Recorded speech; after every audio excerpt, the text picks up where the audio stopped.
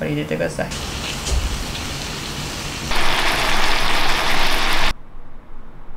はいどうもお酒の友達リュウジです。リュウジレベルってサムネに書いてあるんですけどもこの間初めて4が出たんですけどもあれはね出さない方が良かったですね。今後はね4は出さないようにした方が酔っ払って収録を終えて、まあ、その後時間経ってから編集のみんながね作ってくれたのを僕が確認するんですよ。その時に辛いのとシラフで酔っ払った時の自分を見るのって本当辛くて葛藤があったですね。きつかったです。はい。ということで、えー今日はお酒をセーブしながらねね、レベル4にならないように二度とあの惨劇を繰り返したくないとっていうところで今日はねあのレベル2ぐらい。さらにこの酔いを加速しようと思いまして僕の撮影ってもチキンレースみたいなもんなんでレベル4に行ったら俺の負け。レベル3でとどめたら勝ちみたいな。そのテンションなんですけども思考シリーズです。思考シリーズといっても簡単。めちゃめちゃ簡単なのにものすごい美味しい。こいつ。ね、えのきを使った至高のなめたけです。大体の方々が瓶で買ってますよね瓶。自家製のなめたけ。しかも本当に美味しいなめたけです。作り方を皆さんに伝授しちゃいたいと思います。リュウジのバズレシピ。今回はですね使い材料はねもう超簡単。えのきあとは普通はなめたけに入れない食材なんですけども今回は仕込んだなめたけということで僕が一番うまいなと思うなんだか分かりますかこれ？塩昆布ね。もんじゃらじゃないですよ。塩昆布です。今回はえのきと塩昆布を使ってなめたけ。すっごい簡単です。っごい安い。だってえのきだって100円以下で買えますからね今ね。これってあの基本的におつまみとにかくお酒の進むものなんですよ。なのでですねお酒飲んでる時に一番美味しいなって思う瞬間って何ですかね。やっぱり1杯飲み終わってからの2杯目とともにいきなり酒の魚と食べて飲む。その2杯目が良くないですよ。いいつまみと食べたいと。そういう時が一番美味しい。言ってる意味分かりますか皆ということでその状態に無理やり持っていきたいと思います。こういう風にね酒を煽って飲むと生きった大学生って言われるんですけど本当にね生きった大学生なんで生きった大学生だと思ってもらっていいです。ほぼほぼもう人間失格なので僕は。本当はね社会に出ちゃいけないんだけども料理ができるから社会に出てるんでね。これ皆さん特別に用意しました。このアルチューマシンです。スーパーアルチューマシンです。これをプッシュするだけでなんと測ってくれるんですね。このトゥーフィンガー。はい。至高の状態にしていくために飲んでいきたいと思います。いただきます。あーこれこれ。やっぱお酒って美味しいね。ということでやっていきたいと思います。最初にえのきを切ってみます。まあ僕のえのきの切り方なんですけども変わってちょっとへこんだところがあるんで。でここで袋ごと切ります。はい。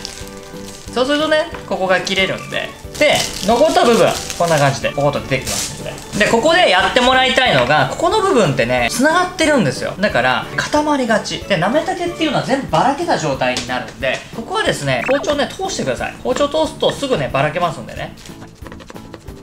でこんな感じでやっていくと。すぐねあとばらけますんで。これねフォークとかでも全然いいですよ。付け根の部分をこうやって包丁でほぐしてばらす。これね重要でございます。でばらしたらで3等分。はい2等分。はいこれ3等分。これがなめたけに一番適した長さだと僕は思っております。そんなこと言っててもね全然つながってんだけどなこれね。これはもう手で。やっちゃっていいです。はい、はい、もう OK ですねこれね。そしたらねもうねフライパン GO はいじゃあですねこのようにね 200g のえのきをフライパンにドカッとのもう入れちゃいます。火にかけずね。そしてここにですね調味料を入れていきます。醤油大さじ2半ですね。はいそしてみりんを大さじ2まあこれね今ね本みりん使ってますけどもこれはねミニ粉調味料でも大丈夫ですよ。はいそしてお酒です。これね清酒使ってます僕。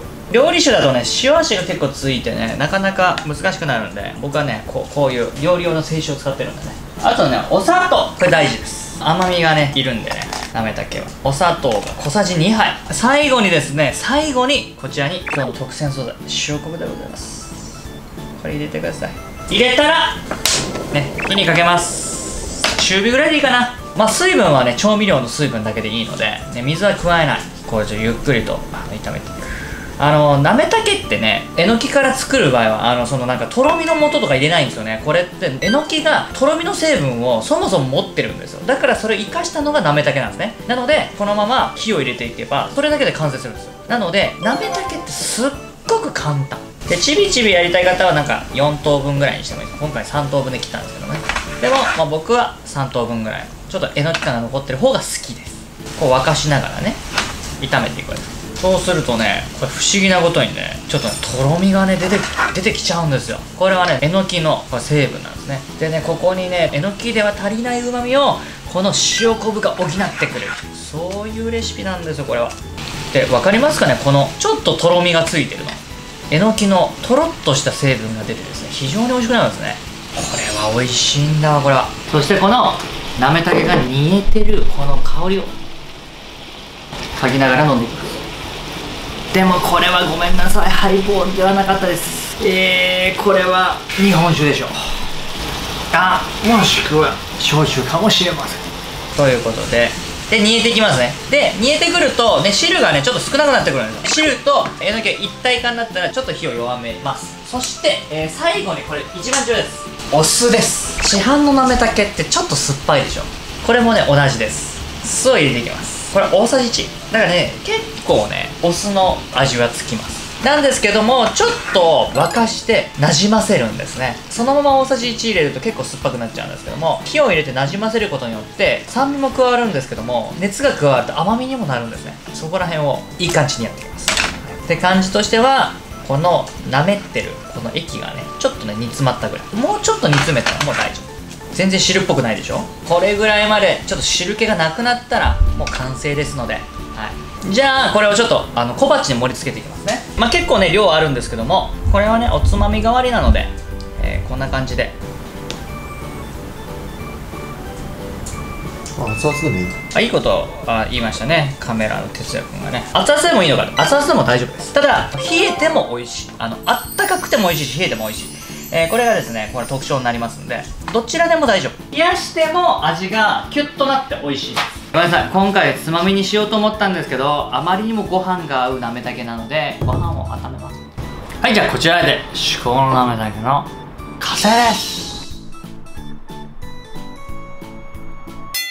ではですね今回のなめたけは、えー、おつまみになるんですけどもご飯にもすごい合うのでご飯も用意しちゃいました。ということでですねいただきます。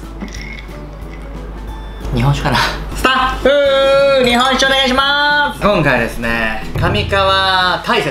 ここに出てくるの北海道の酒ばかり。じゃあいただきたいと思います。ご飯からいっちゃっていいですか？なめたけですから。いただきます。あ合いすぎるうまいな。ご飯との相性が最強ってことは日本酒との相性も最高ですよ。こんなに美味しいなめたけあんま食べたことない。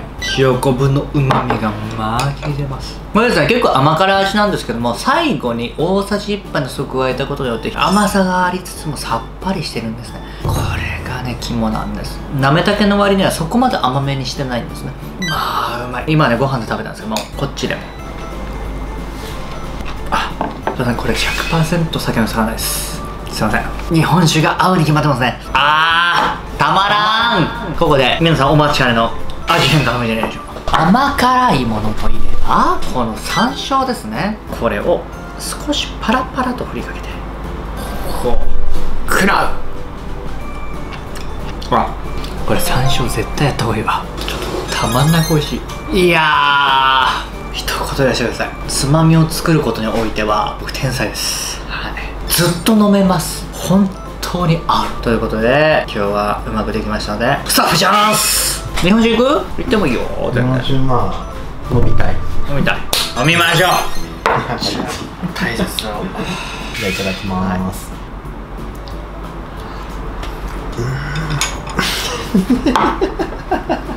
めっちゃ合うでしょうまめっちゃ合うでしょこれはやばいね。もちろんご飯にも合うんだけど、うん、日本酒だと思わん？うん。これはもう日本酒ですわ。